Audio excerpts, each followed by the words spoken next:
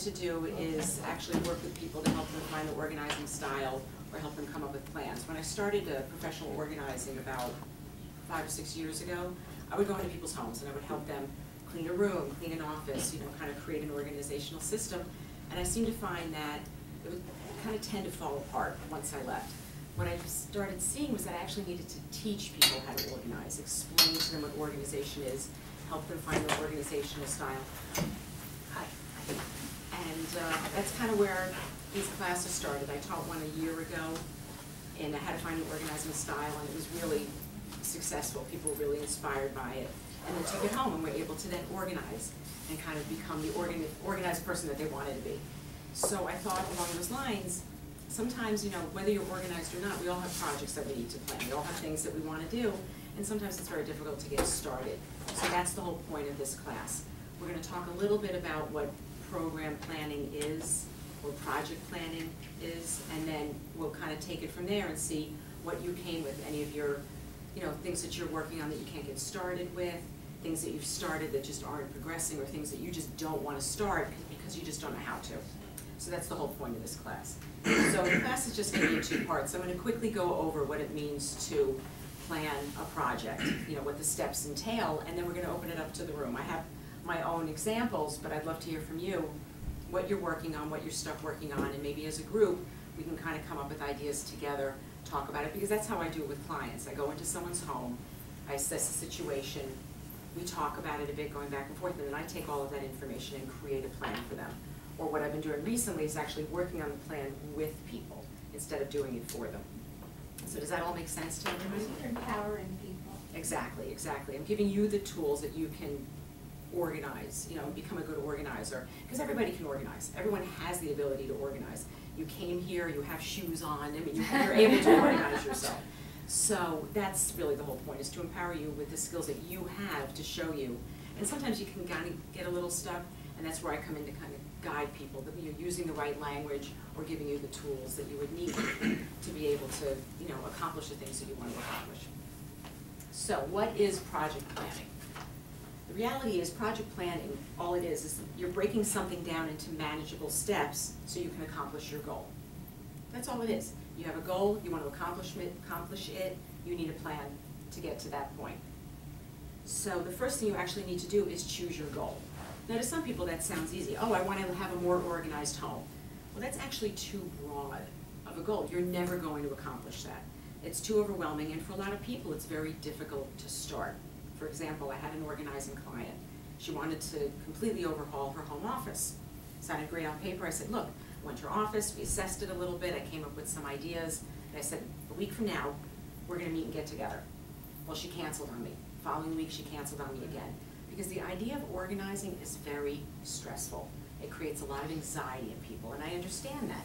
So I said to her, I said, look, we're not even gonna meet for an hour, we're gonna meet for fifteen minutes. I want you to pick five pieces of.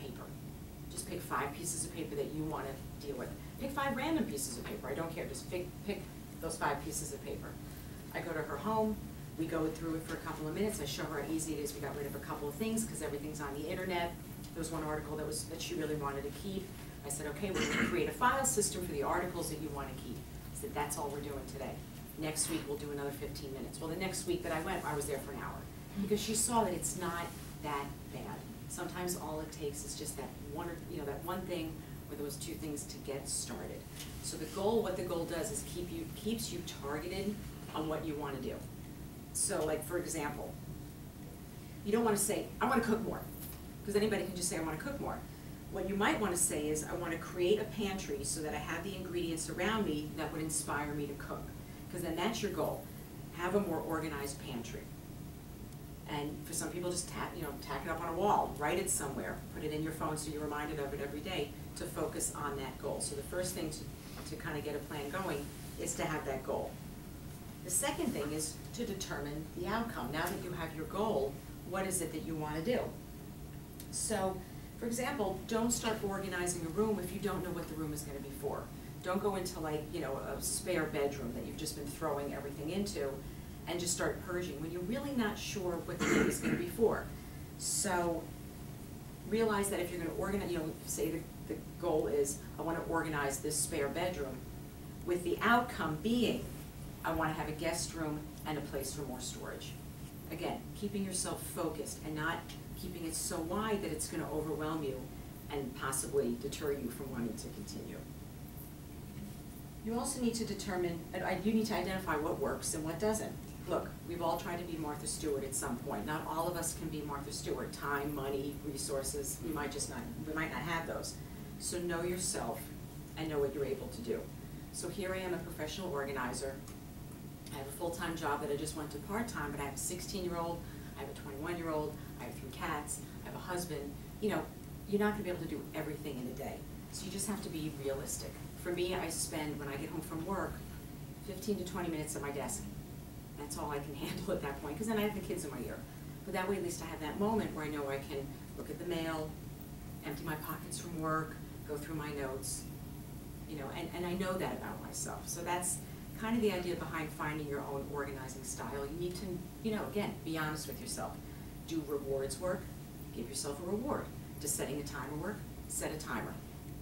Read all the articles in the world, get a couple of things. If they work for you, great. If not, then they're not for you and they're not going to work for you. I'm not an alarm person. Alarms don't work for me. I hear an alarm, I'll just turn it off and keep going. So I know that about myself, I'm not going to set an alarm. So once you have your goal, and you kind of have an idea of where you want it to go, and you understand yourself, the next set is to set the plan. And we're gonna go into more detail about that once we actually start looking at your plans. But at least you have the beginning and the end, and you know who you are. Those are really great tools right there to have to plan your projects. While you're planning your project, don't forget that you can alter it. Just because something is written down doesn't mean it's, you know, you're not gonna be graded, you're not gonna be held accountable for it. If you're going through a plan and it doesn't work, have, you know, a, a meeting with yourself and say, okay, I've been trying this for about a month, nothing is happening, let's reassess the plan. You can always reassess the plan, that's the greatest thing about a plan, is that it can always be changed. That's why I like paper, paper can be thrown out, crossed off, you know, that sort of thing. So once all this is said and done, your plan goes into effect, the one thing you should do at the end is assess what has happened. So say you have a whole house that you wanna reorganize, and you've set this plan to just reorganize this one room, making it a nice guest room, and has more storage space. You've done that plan, it's over, don't throw away your notes. In fact, take some notes afterwards, what worked, what didn't, then you can actually take this plan and go to the next room, or go to your kitchen, or go to a home office. That's the, the great thing about start, sort of starting project planning, is that you can take it from one thing to the next, and all of a sudden, it's almost something you don't even need to think about, especially in like, if you're keeping it the same goal. Or knowing that you've done this before, set a new goal, set a new challenge, and then you can take this project that you've used and sort of use it as a skeleton where you can alter it and change it. So those are, that's pretty much what project planning is. It's just the goal, the organization, ending it, and seeing how you did. So to kind of give you an idea of how that plays out, this is sort of how, what I do when I'm going into someone's home. And I'm gonna use the example of a bedroom closet. So I'm meeting with someone, they wanna organize their bedroom closet. So I'm like, okay, we need to set that goal. So I'll ask them a few questions. What do you wanna do with the closet? What do you expect from this split space? What do you wanna get rid of? What do you wanna bring in? Bless you. So for this example, and speaking to the person when they talked about their closet, they wanted to create extra space for storage. They wanted to donate some, you know, some clothing, repair some clothing and some trash, some things. They wanted to remove the items that don't belong, and they wanted to be able to find their clothes right away. So how would I look at that, you know, as far as like setting the goal? I wouldn't just say, oh, I wanna organize my closet. The actual goal ended up being having a closet with seasonal clothes together, nothing on the floor, and non-clothes items removed.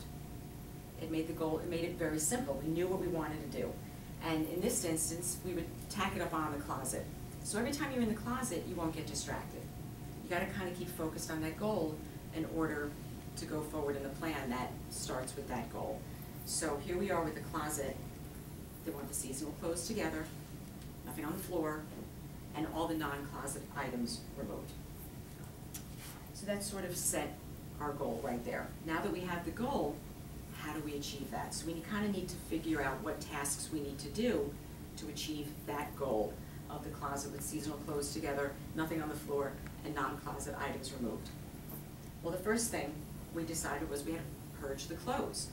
So again, that can be a big step for people. They look at their clothes and they go, nah, never mind, I don't wanna look at it, I don't wanna deal with it, I don't wanna get rid of them. So what we did is we broke, it- broke it, you know, broke it down into tasks. The first task to get this closet was to take all the clothes out, them on the bed, and go through them one on one, and just sort them. Winter, fall, spring, summer, I might wanna repair this, I really don't want this, but it's in good condition, I wanna donate it, and trash. And you just go through each piece of clothing. So that's your first task, is to purge and go through your clothing. The next task for this person was to sort through their jewelry. So again, you're not putting, you're going up to your closet one day and saying, okay, I just have to go through everything. You don't have to go through everything. You're setting these tasks. One day, or one hour, however long it's gonna take you, two hours, I'm going to go through my clothes. So that's your first task. My next task would be, I wanna go through my jewelry. And then you just start listing those tasks, always returning to the goal. You know, not, now I need to paint the walls of my closet. That wasn't part of the goal. You know, you don't wanna get distracted. We're just getting everything out of the closet and making it a more usable closet. So always focus on that goal, list the tasks that would help you achieve that goal. The next thing is to put these tasks in order. You know, you wouldn't want to clean the floors of your closet until you get everything out. So once you list all of those tasks, take a look at them and see what order you would wanna put them in. What makes sense? What makes sense to you based on your schedule, your time, your physical ability, which definitely comes into play with a lot of these plans. I have bad knees, I can't get down on the floor. So whenever I make plans, I have to take that into consideration. So I know myself. So you take those tasks, you put them in order. The next thing you do is kind of break down the tasks if need be.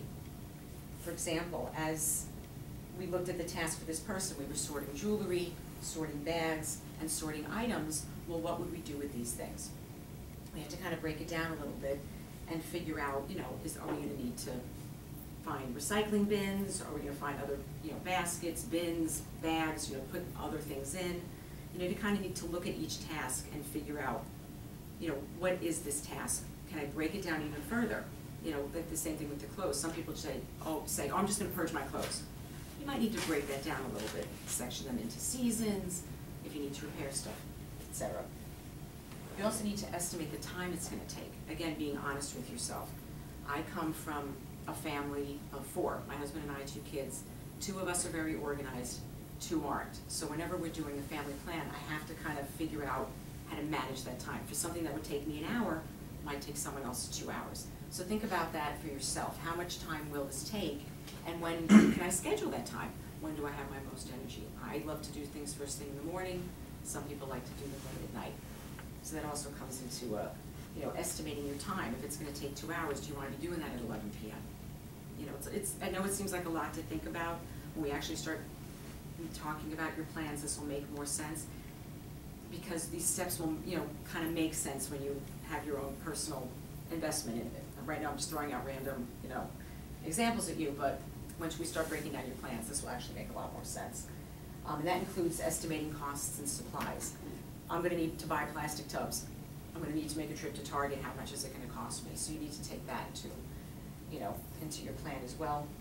And then you set your schedule. You have your goal, you have your major tasks, you have some minor tasks and some shopping to do. So now you need to create your schedule. And then finally, finish the plan and achieve your goal. So it's getting to all that stuff and then having it start. So what I'd like to do right now is to kind of actually jot down some of the, I mean, if some of you brought some ideas with you. If we don't have a lot of ideas, I have plenty of like examples that we can, that we can draw from. But what I'd like to do is, the reason I wanna ask if anyone brought any projects or, I, you know, things that they wanna get done, is that if some of them are similar, we can kind of tackle them together. So does anyone have something that they want to work on, that we wanna kind of map out for you? My original plan was the whole house, but Gotcha. you said not to. But you had that's- to break it But down. that's your plan, so what I'm gonna do is, what we'll do is I'll show you how we're gonna break that down. Okay. Anybody else? Mine is, I have a lot of craft supplies that I've got to do something with. I know some have to go, which is fine. but I don't want all of them to go. Gotcha. No, I got you there. Anybody else? Um, mine is the house as well, but I, I have a plan of moving, uh, in five to nine years. Okay. And very good at setting these, these goals and all, but getting it done is just too much stuff. Right. I've lived in the house for twenty years. Right now, we're doing a lot of work in the house, so in addition to my stuff, there's stuff in boxes and pushed into one corner of one room. And in this, we're like doing a new closet, so that made my ears go up.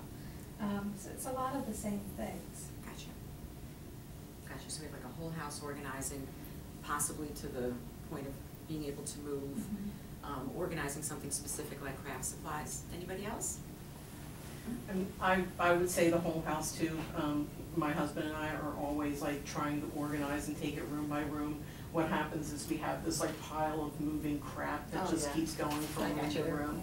So, yeah, we just, you know, I would like to just, you know, see that pile just gone from every room. But how do you decide, you know, you have this piece, Mhm. you know, it was your mother's, you use it maybe Thanksgiving and Christmas, because all those generations ago, you used it Thanksgiving and Christmas on m- mom's table and grandmom's table or whatever. Right. And you're looking at this going, when was the last time I really needed a serving tray Mm-hmm. for eighteen people and, a- you know, but you're not gonna, you don't wanna part with it because it's so sentimental So- and it's needed. So one thing I always insist on when I talk to people is you do not need to throw out a single thing. Like, Just get that out of your head. You never ever, I'm not into that whole like sparking your joy and stuff like that. I have plenty of things that I will not ever get rid of when it has a home. As long as everything has a home, you keep it. And that's really the reality of it. I've never been one of those people where, you know, you have, just because everything's on the internet, you have to get rid of every piece of paper in your house. I'm a mm-hmm. paper person. I have file cabinets. I have like, I have about seven or eight of them in my mm-hmm. house. And I use them. They're very organized. They're used for very specific things, but I love my paper. I like being able to go to my file cabinets and find those pieces, pieces of paper, those lists mm-hmm. and things like that. I never, ever expect anybody to throw anything away. We just need to find a home for it. That's really just the reality of it. And sometimes as we're going through the process, sometimes you do realize, sometimes there are memories that are attached to things and the memories will never go away, but the thing is almost causing you stress. Then it might be time to get rid of the thing, but maybe, you know, write a little story about it. You know, and file that away. Have a special box for, you know, mementos, but instead of actually having the memento there, have a picture and a story about it. You know, that would be one suggestion, having it, had it pared down. You don't need everything, you don't have to get rid of the memories and the sentimentality of it, you know, as well. Yeah, that's, that's one thing I tell people, put that right out of your head. You don't need to get rid of anything unless it's causing you stress and you wanna get rid of it. I wanna get rid of things, cause I don't wanna move them again. Well, yeah, that, that's a big thing when you're moving. I did that. I used to keep all the magazines I bought. Every magazine I bought until the second time that I had to move them. I'm like, I don't wanna do this anymore. So I created a plan. Um, I decided I wanna keep what's, the, the information that's important to me. And I would spend an hour a night after dinner, sit in front of the TV with a magazine or two, and just kinda go through them, and rip out articles. Mm-hmm. I had a stack of articles. That was, the first step was to get to a stack of articles. The next part of my plan was create a, you know, separate them out into different topics, and then now they're all still in my filing cabinet. I'm not lugging around those magazines mm-hmm. anymore. It Took me two moves to realize that. How often do you go into that and look for an article? You know, to be honest, I have a, a whole filing cabinet with all the organizational stuff that I do reference when I'm going to projects. But I would say nine times out of ten, I go to the internet, just Yeah. because we have the internet. Now. Um, but it's like, but I have, but I, but I have a place for these filing cabinets. It's not in the way, it's clean, it's neat. So for me, it's almost emotional that I just, just in case the internet crashes, I have this information, you know, you know, that mentality. So when your children uh, inherit all that, they're gonna take it, put it in a box and put it out on the road. So they won't, because part of my plan is I have a twenty-one-year-old, she's a junior in college right now. And when she graduates college, she might be moving back home. So that's actually a target date for me to pare down my half. And I've actually, I've been slowly doing that. I've been going through, I used to keep all my old calendars, they're all gone now. Um, I've been going through all my old journals and just kind of ripping out important things and getting rid of those. So slowly but surely, I got myself to a point where I'm happy with everything and now I realize I don't want to burden them with that stuff. I'm going to start paring down that stuff in a slow time frame, you know, because it's still, you know, for me, I don't wanna get rid of all of my stuff, but it's the reality of, you know, Someone else will do it for you though. exactly. Because I just did two houses last year, my son and my father's. Uh-huh. Four dumpsters out of my father's. Yeah, And then my garage is full now. Right, right, Mementos we can't throw away. oh, yeah. And yeah. eventually they're gonna be on somewhere. My son's house, I emptied that out and roughly the same thing. My- my And they're all husband- valuable things. Right, right. Yeah. To who? That's exactly it, you have to figure, you know, and that's, that's a whole other, you know, what's valuable to what person can be a whole other topic for another, you know, discussion. But my husband's, um, when his mother passed away, they were gonna move his father down with his brother, they needed to empty out the house. It created so, mu- the amount of stuff that was in this house created so much anger amongst the kids, they trashed it all. They didn't wanna look at it, Yeah. they didn't wanna deal with it, they took one or two things and trashed everything. Are they re- gonna regret it later? You know, who knows?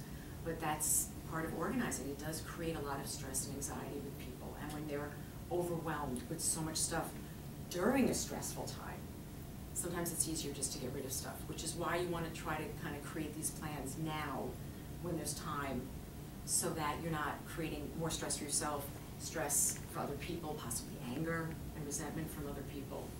Yeah, I mean, it's, it's They sad, ask my but it's kids true. what they would like from you or nothing. Yeah, And I give them pictures and I find them back in my basement. exactly, yeah. And see, I just said, it's not, it's not what you would like to keep, it's what's gonna be passed out and kept. It's not gonna be much. Your Thanksgiving plate.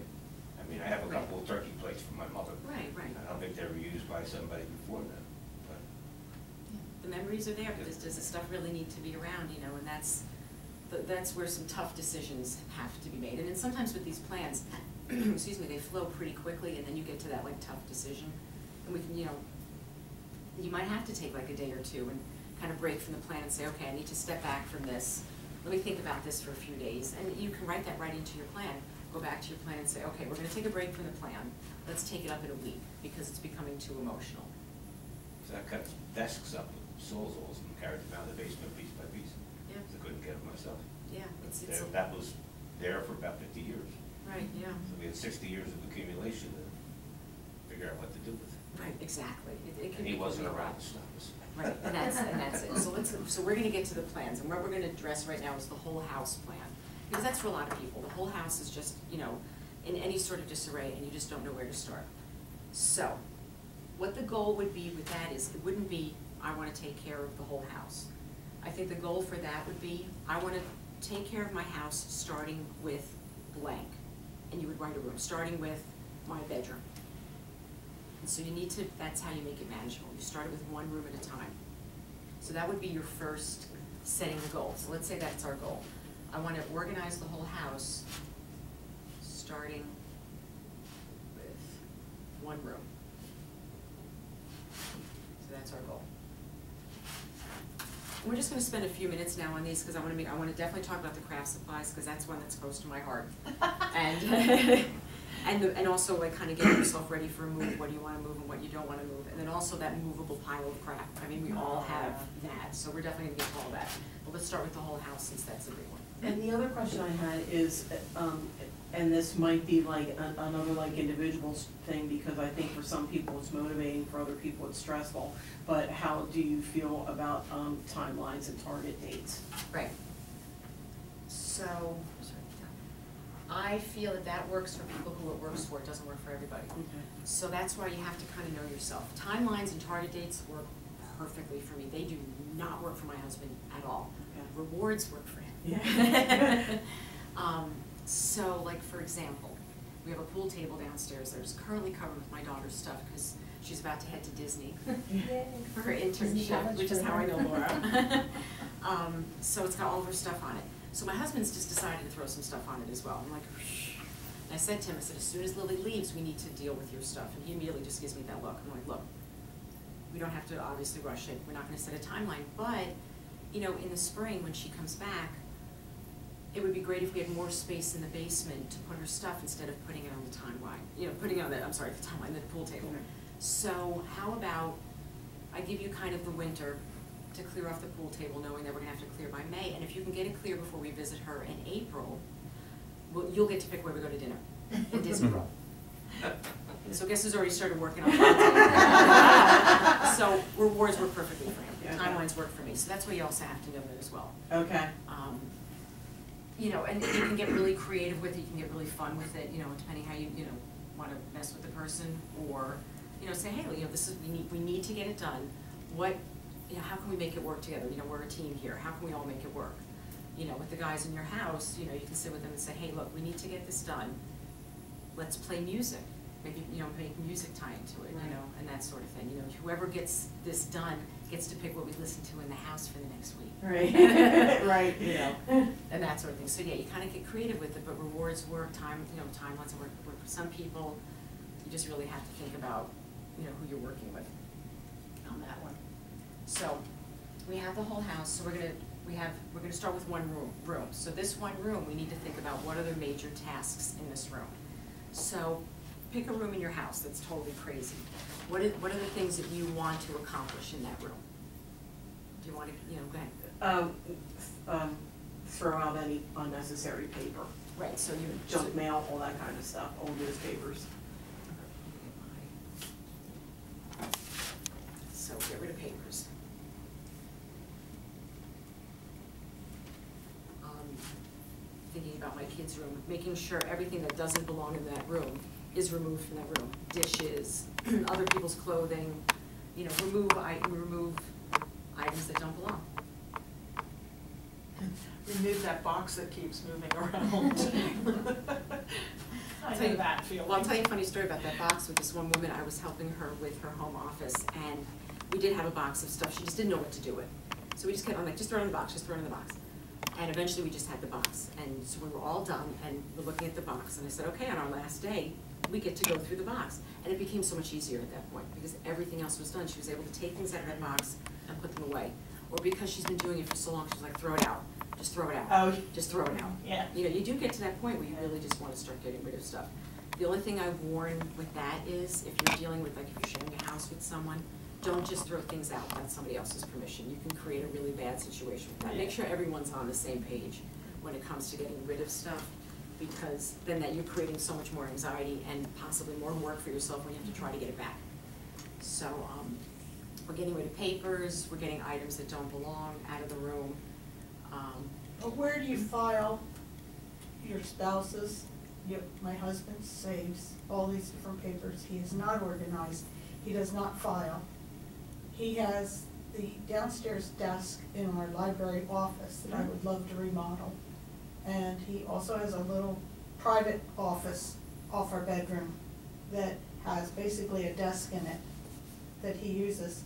It's a roll top desk that you don't dare open because all the papers that are in that roll top desk will come spilling out. Plus a full thirty gallon trash bag or whatever the big black ones are. Right. And half filled one for last year. So he just throws papers in year, like by the year. I cannot physically lift those papers up. Right. How, and then next to the bed, there's just a pile of papers. And it's a good sized pile, it's as tall as the nightstand, Oh, and it's going towards the door. I'm gonna, But you said don't touch your husband, you know, somebody else's house. we'll get, Well, we'll get to that in a moment. okay, Yeah, thank we'll- you. no, no, we'll definitely address that one.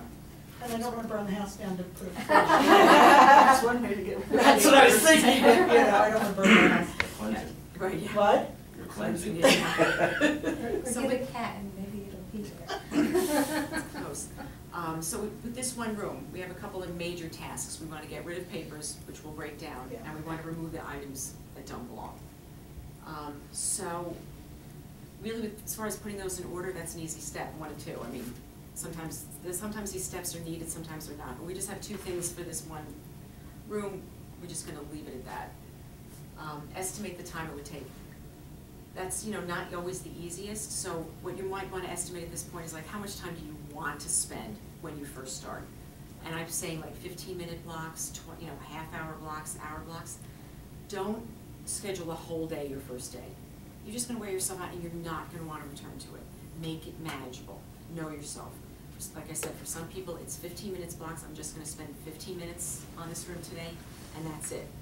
You know, I'm, I'm like maybe sorting through papers, and that's it. And if you do that every day, all of a sudden, you're going to see how well it's going, you might wanna add time to it, but make your steps manageable.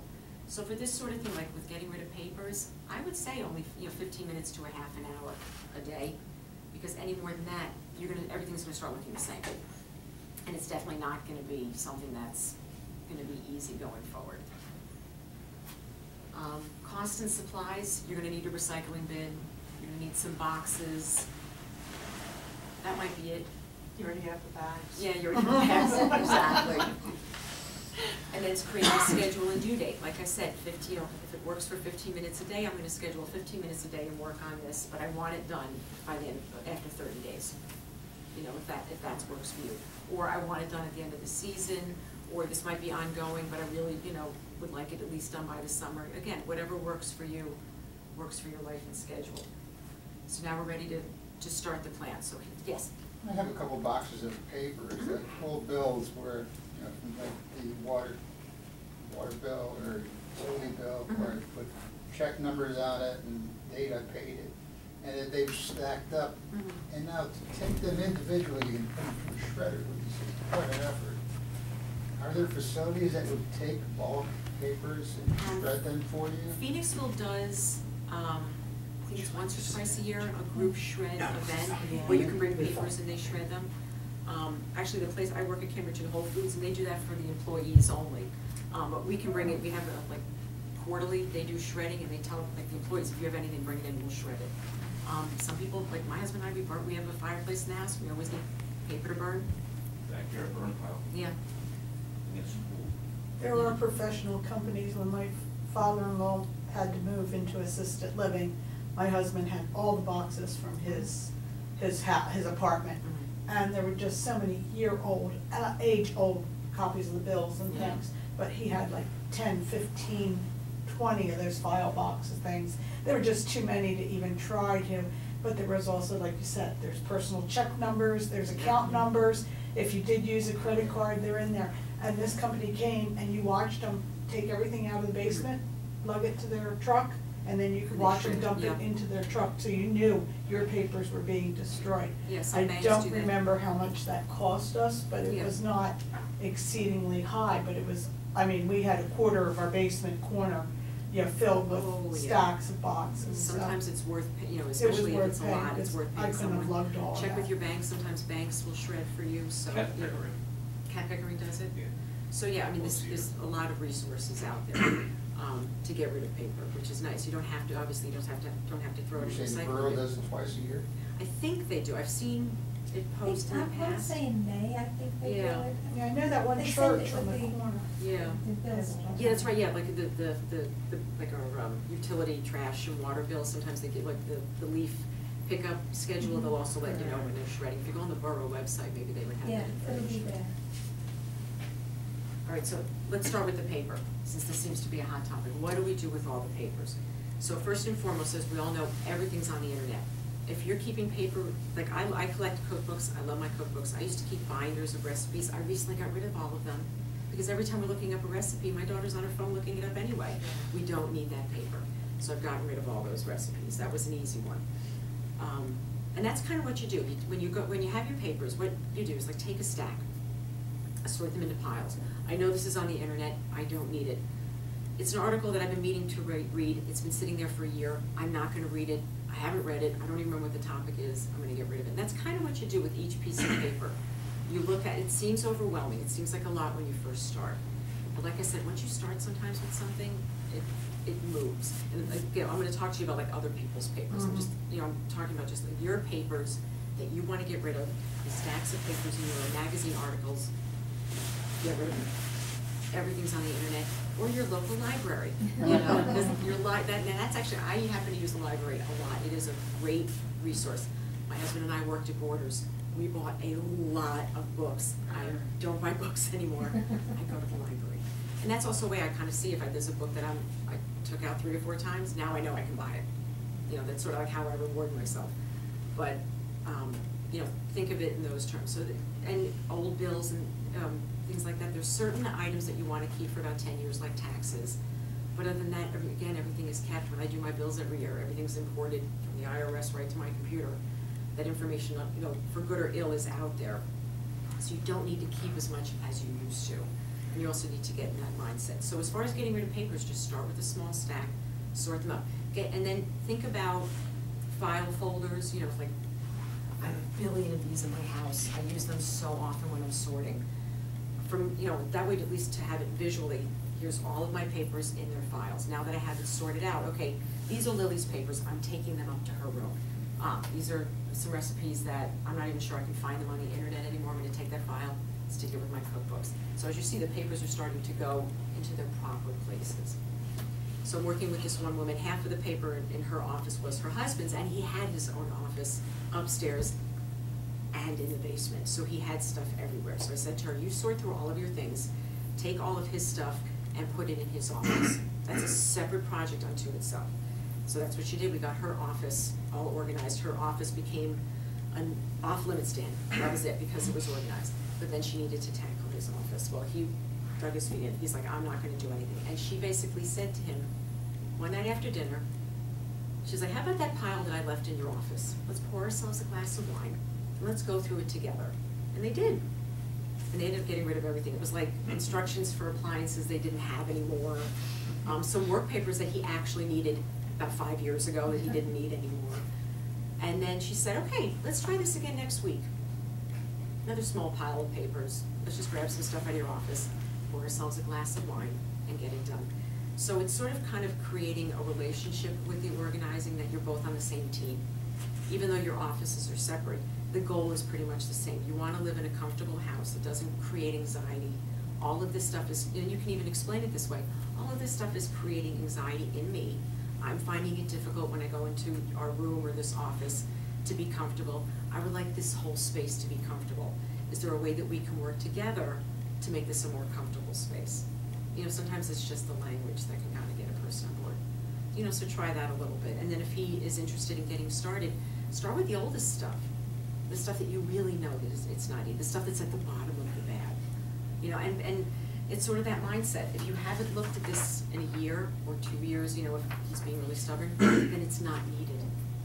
Or if you really think it's needed, I'm gonna buy you a really nice file cabinet, let's get everything in the file cabinet. So at least it's not on the floor, but he can keep everything. Does this make sense?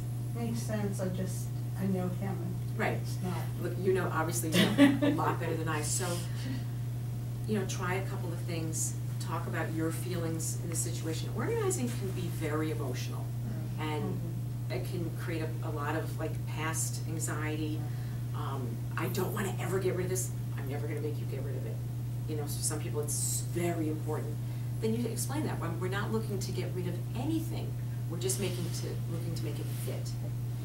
You know, and sometimes that's a good way of going about it as well, because people just don't wanna get rid of things. You know, and that can cover any plan, people just don't wanna get rid of things. And that's how you start the conversation. We don't have to get rid of anything, we just need to make it fit. We need to make it so that you can find it, you know, put it on him. We need, need, we need to make it so that you feel comfortable in the space, that you can use your desk. You know, that might help as well. Mhm. Give it a try, you know. I can give you my brochure when we're done here, we can always talk about it some more. But, um, it always, you know, talking on an emotional level, and talking it outside of the room. Don't be in the room when you're having the mm-hmm. conversation, don't be holding, we need to get rid of this paper. Let's go out, you know, find a, you know, they talk about that with kids, talk about it in the car. You know, when it's like, you know, you're kind of listening to music and you're both stuck, you know, you have, you have to talk. That might be a good time to talk about it as well, not when you're in the stuff, where people can come, become very protective of their things mm-hmm. when they see it. So basically, with this plan, as you see, you know, the steps kind of keep going and going. I don't wanna focus too much more on this, but with the whole house, start at one room at a time, one closet at a time, one dresser at a time. Do one thing at a time, make it small, set your goals manageable and attainable, then everything else will start falling away. If that, if your husband's office is gonna be the toughest thing, save it to the end. Do easy things first Okay. you know, get them accomplished first. Pick, pick a, a, like, a linen closet start there. And I'm actually gonna then parlay that into the whole moving thing. Um, if you're looking to move, if you're looking to downsize, it's actually very, sometimes the most difficult thing when it comes to organizing is downsizing. So it's the same sort of thing. Go in your linen closet, first get rid of, yeah, I'm sorry, bathroom closet, because actually I just did this, get rid of everything that's expired. Um, if you have a target date to when you're gonna move, you know, if that's your goal is organize this house so we can move. Think of it as, um, you know, are you gonna move in nine years? So that's, that's your end date. You have nine years to do this. and then break it down into manageable segments. We're just gonna, we're gonna spend two months on one room, and take a break, two months on another room, take a break, that might make sense. Um, if you have a lot of stuff that you don't wanna get rid of, that's fine, but it has to have a home, so you can stay, think about selling your home, if you go into someone's home and they have boxes and stuff everywhere, you're gonna turn around and walk out. That is a real yeah. But you, doesn't mean you have to get rid of things, put them in, you know, plastic tubs that have, you know, nice pictures on the outside, so, you know, it looks, and that way you can also find the things. Um, you know, I'll use Disney as an example. We have a lot of Disney stuff in our house, we're not getting rid of any of it, but, um, my daughter's theme at this Christmas was Disney, so we were able to pull all of the Disney stuff in, which was great to have it, but I knew where to get it all. The Disney dishes were in the attic in that one tub. The Disney ornaments were in two places, one's in the attic and one in Lily's room, because she has her own ornaments. Um, we all own Disney t-shirts, where we're able to find them, because we're all in our dressers, in a little Disney section in our dressers. So it's, you can fit everything. Um, it's just really, again, breaking down each room, and when you're thinking of moving, think of staging.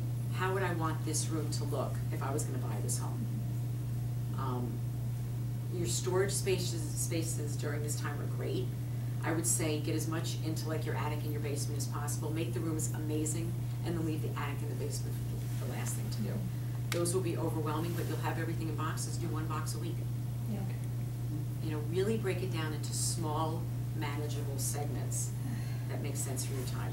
And if it's overwhelming to start, again, start with one drawer in the kitchen. Yeah, and I've been doing that. What's, what's hard for me is, although I want to get rid of stuff, I know I need to get rid of stuff, when I get to it, there's two things. One, it's either an emotional tie to it, Mhm. or I, I think everything has a monetary value. And I was like, I don't wanna toss this out because I can get three bucks it. And I'm like, this is ridiculous. Mhm. So that, I fall into that trap. What I then remind myself is, what time do I have to sit and put things on Facebook, eBay, you know, wherever, um, to actually do this? And the answer is, no, I can do one garage, I can manage one or two garage sales a year. So I have a section in my basement that is only a certain size, and that's where the garage sale stuff goes. Excuse me, if it's more than that, then something's gotta come out. Sometimes that means, we're, we're really big on donating, I'm really good on repurposing donating, I don't like to throw anything out. So Goodwill is pretty much a monthly visit for me. Um, there's a number of really great shelters here in Phoenixville that take things, and then you look to certain organizations that are doing drives. Mhm. I go to Green Drop. Yeah, oh yeah, Green Drop's Yeah. amazing. There's Um, Liberty Thrift too. Oh, yeah, there it They're. Liberty Thrift, yeah, I exactly. don't like Goodwill, I don't like, Right. um, their policies. Right, exactly, so that's, you know, you have to kind of, you know, have a- a few that you can go to. So, anything that has a monetary value, give it to someone else that's gonna make money off of it, if you're not gonna make money off it, set yourself a time, you know, like, like. 'Cause I don't have time to do it. Right, you really, and you don't, and that's the reality, so someone else will have time to do it. Someone else can make, that, that's your gift to somebody else, and what you're giving yourself is the gift of time. I tell this, this is like my motto, the gift of time and space. And free real estate in my house. Exactly, exactly. And when you're giving yourself that gift of time and space, you're freeing up your brain to do more awesome and fun things and not having just to look at things. Um, as far as the emotional things and the personal things, that is a tough one. Um, I have a few bins in my attic of things I just can't get rid of. One of them is, um, Bloom County comic, Penguin Opus. I collected stuffed animal opuses. I have all of them sitting in the top of my attic. I cannot get rid What of are them. they? It's a penguin, stuffed penguins, Oh. stuffed animals. Oh. It's ridiculous. I can't get rid of them. I cannot get rid of them. Um, but they have a place in my attic. Mhm. And every now and again when I go up there, I smile. And I don't have to get rid of them. You really don't. But they have a place in my attic and they don't cause me stress. And that's really, anything that stays in my house has to have a home and it can't cause me stress. If you're looking at that platter from like a great, great, great grandmother that causes you stress, Mhm. you can get rid of it and it's okay. It really is okay. Um, you just have to kind of make yourself feel like it's okay. And in some instances, when you get rid of the big platter, you go out and buy yourself a twenty-five cent candy bar, it's not so bad. That's the reward, you know, for getting rid of this thing that's been taking up space in both my mind and in my hutch. I get a candy bar out of it, it makes me happy. I find a lot of times you forget after it's gone, Yeah, Oh, yeah. Yeah. most, most. and those things that you think you might not forget, that's where like the idea of like taking a picture of it, writing a little story about it, then you have that memory. And it takes up a lot less space. Oh, yeah, I Yeah. did that with my daughter's artwork from school, I oh, just Oh, took yeah. pictures of it as she Yep. brought it home. So I, I knew after a week, uh, this is gonna take up three rooms. Yeah, all the toilet paper roll animals that we had in our house from like all the little programs I did, yeah, there's a great picture of all of them like lined up. And they have that picture now. And they, yeah, we kept a couple of things, again, they have a bin under their beds that they can take with them and they move. But it has a home and we don't have to worry, it doesn't cost Did you anybody define stress. that? Hmm? Take with them when they move? Oh, take with them when they move, yeah. Yeah. So- My daughter's been going about ten years and I finally So- am getting some boxes. Funny story, my parents are in the room. Oh. I currently have nothing at their house. Oh, wow, aren't lucky? But my younger sister does. Now, my younger sister actually is currently bouncing around in places, so it makes sense. But, you know, it got to a certain point where they basically took the last of the boxes, and one time we went to visit, they put it in our hands and said, we love you, it's never entering your house again. If it is, it's getting thrown out, and that's it. And you give it to them and they take it, and that's it. Um, for, again, for, like for my sister, it makes sense keeping stuff there. My dad has it in the basement, she has her own section there, he doesn't have to deal with it. When she's there, every now and again, it reminds her that it's there. Maybe she'll go through a box or two. But at least it's not like sitting in his dining room, it's not taking up any bedroom space, and it works. Yeah. You know, so if it, it works, then it works. Oh no, my daughter told me after college she's moving back home, I get that, I know there's gonna be stuff there for a while, but there will be an end date at some point, but it's my house, you know, it's gotta go. So I wanna address now the craft supplies, because we all have those things. Um, you know, my youngest is sixteen and I still have popsicle sticks the house, because you never know when you're gonna need them. Um, That's really the reality. True. Glitter, things like that. So, for some people, it's going to IKEA and getting a really cute little dresser, and that becomes your craft dresser. Yeah. It's that simple. You don't wanna get rid of it, you don't have to, but it needs a home. And you wanna be able to find it. So. You know what you have sometimes. Right, so let's, let's set that as a, as a, as a plan. So our, our goal is to organize our craft supplies. That's a, a simple plan to have. So what are the major tasks? To go through all the supplies and trash, things that are just trashy, figure out what needs to be kept, and put like things together. So those would kind of be your three major tasks. Um, you might need to buy a few bins, a few little organizational things. You can get really creative with cereal boxes and turn them into, you know, put, take some old you know, kids' artwork, some old wrapping paper, cut off, open a cereal box top, you know, lay it flat. Oh, um. oh. Boom, put those in your drawer, you know, you Yes. got a, a bunch of, you know, you don't have, none of this ever costs a lot of money, you can get really creative with other things. That's the other thing with, when it comes to storage, wander around your house, you might have things that will hold other things that you didn't even know about. I have these wonderful, beautiful, like, like mugs, you know, that my husband and I get forever from so many places. I have mugs in my closet holding like broken bracelets, I wear a lot of bracelets and some of them are silver, I don't wanna get rid of them, I wanna sell them. I have a mug that I'm never gonna drink out of that's missing a handle, sits in my closet because it means something to me, holds the broken bracelets. Other things can hold other things. And then mm. I'm emptying out all of my mugs as well. So think about that with craft supplies as well. Old mugs, shoe boxes, cereal boxes. Shoes, if you have one shoe, like I have these really great shoes I don't wanna get rid of, they're, they hold things.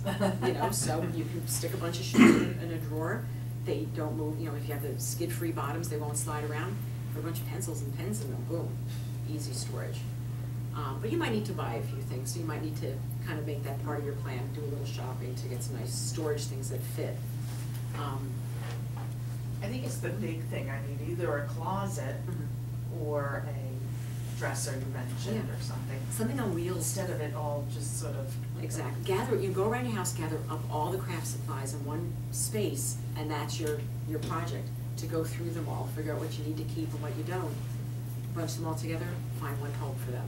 Carts on wheels, which they sell at Michael's sometimes, I've are seen really those, cheap. yeah. I have a bunch of those in my house. Oh. Cause they're great, you can wheel them away when co- company is there.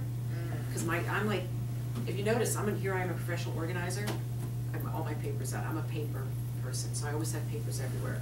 So around my desk, I have two carts that I can throw all of this stuff in and wheel away when I have company, so it looks like my desk is very organized and very. Um, but yeah, that's kind of what you need to do. It's sort of, sort of like the junk drawer in the kitchen. Mhm. You need to have a junk drawer. There has to be a place where you can just throw the pile of crap, which we're gonna get to next. Um, sometimes you just need that drawer in the kitchen that has, um, Fun-Tak, couple of twist ties, earring backs, you know, if you have kids and sometimes you need earring backs.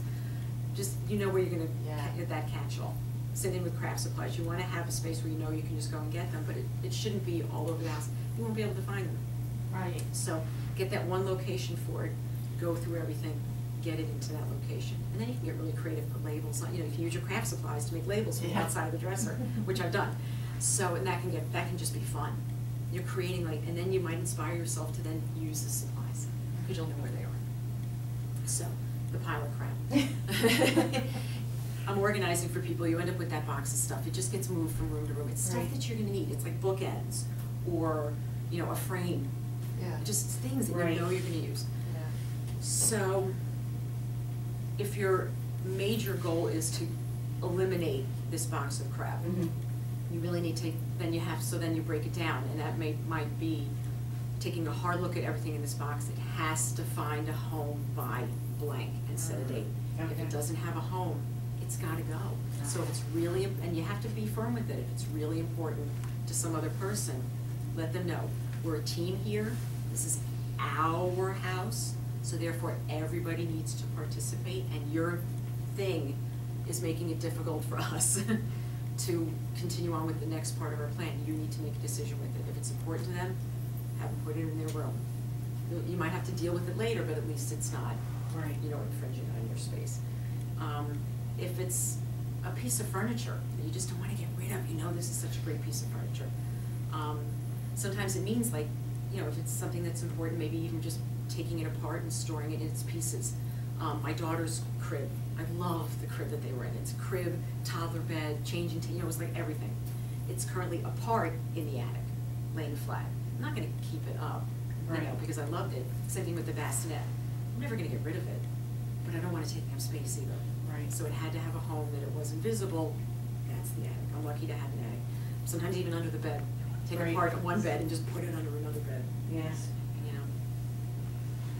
But as you see, all it is is like, you know, you kinda, you know, you know you wanna do this one thing.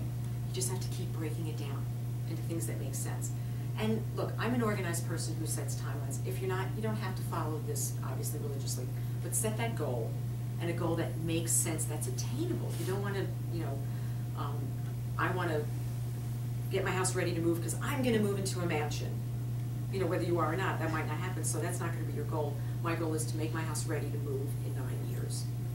Um, so make your goals attainable, make them that they make sense to you, that they work in your world, and reward yourself at the end. You know, it's very, very hard to organize. It's very hard to start. So even sometimes in that starting, say, hi, I'm gonna organize for fifteen minutes tomorrow and I'm gonna buy myself a coffee. Reward, you know, reward yourself. Make yourself good, feel good for your accomplishments. You know, we're humans, you know, just because we're, you know, adults doesn't mean we still don't like that treat. So definitely, you know, when you're setting your plans, make the goal attainable, make it, set it in a way that makes sense, break it down so that you're not overwhelmed with it, reward yourself at the end, and then assess it at the end, see if you can work, take this plan and use it for another room or another space. So I think I've used up almost all of our time. I wanna leave the rest of our time open for any other questions. Does anybody have with any of your plans, projects, or any things that you wanna work on? How do you part with some of those clothes that you pull out of a box or a closet and you go, I really like this Yes. sweater? So I call those my collected pieces. So, and I, I I actually have a friend of mine, she is a fashion collector, and I recently helped her deal, she actually had a whole room, she- her, she and her husband have no kids, the extra bedroom was her closet. And what she and I do every time I visit is we kind of pare down her closet. We have a rack that is for her collected pieces. I have things that will never fit me again. I have a pair of jean shorts that are ripped up, covered in patches, but they mean so much to me. So I do have a space for my, my pieces, my collected pieces. What kind of space do you use for that, though? I feel like, um, Um, I actually- do you, do you put it in your bedroom I closet? have, a- I have a dresser drawer, I have a dresser, that the bottom drawer, that's what it's for. That's what you use? Yeah. I keep, I have my closet, my husband and I have separate closets and they're both small, so I really, that needs to be a functioning Right. closet, and I do that seasonally. That's how mine is too. Um, so I'm but I thinking. have, a dresser, you know, that's what those, um, I guess under, under the bed thing I under bed, could do under too. bed storage is But wonderful then I for that. forget, don't you ever forget what you have? I mean, like. Sometimes that's what's nice about under the bed. It's, it's stuff that's important, like I have some old magazines, like the, the magazines that I got rid of, I did keep some. Once every few years, I'll pull them out and look at them, but I know that they're there, you know? They're not taking up any space and they don't cause me stress, and that's Right. really the most important thing. That's- You know, keep saying that to yourself, does this cause me stress? Yes. you know, get rid of it. You know, but if it doesn't cause you stress, you wanna keep it, keep it. If it That's sparks true. stress. Yeah.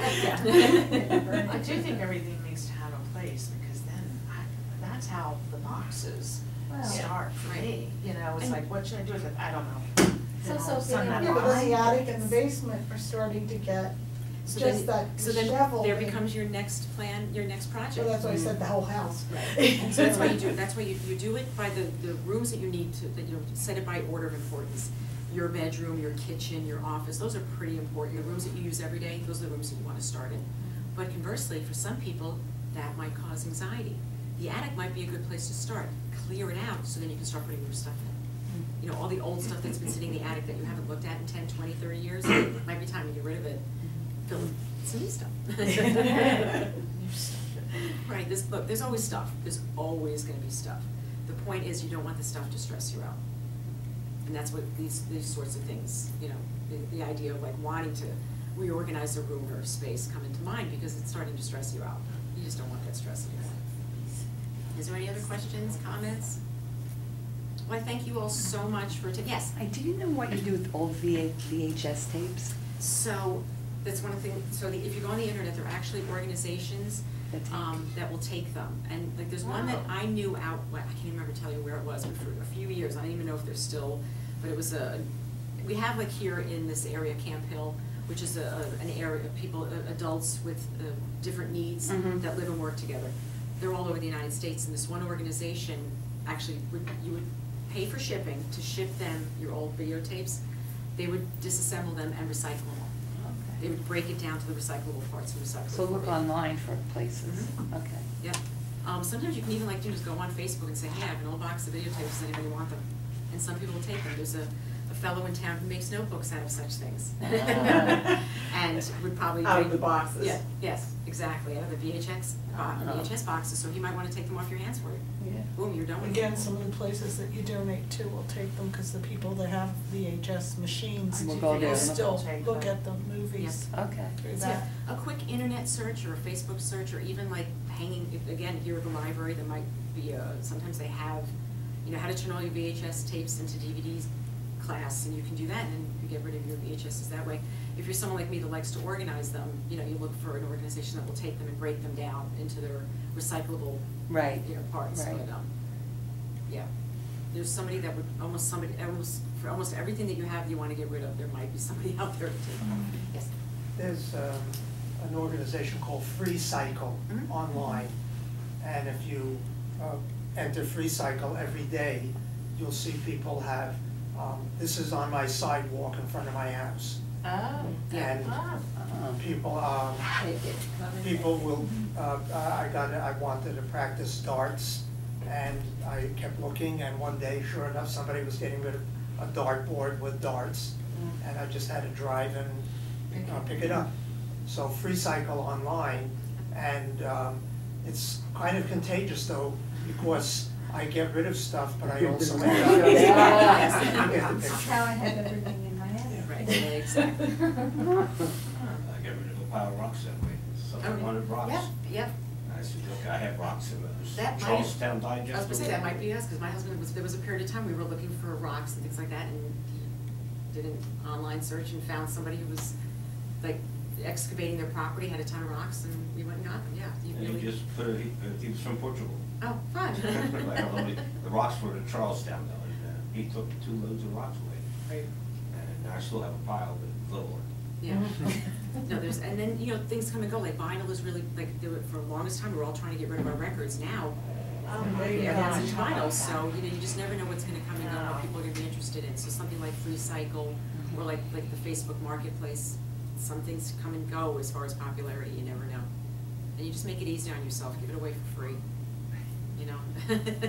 Sometimes that's the easiest.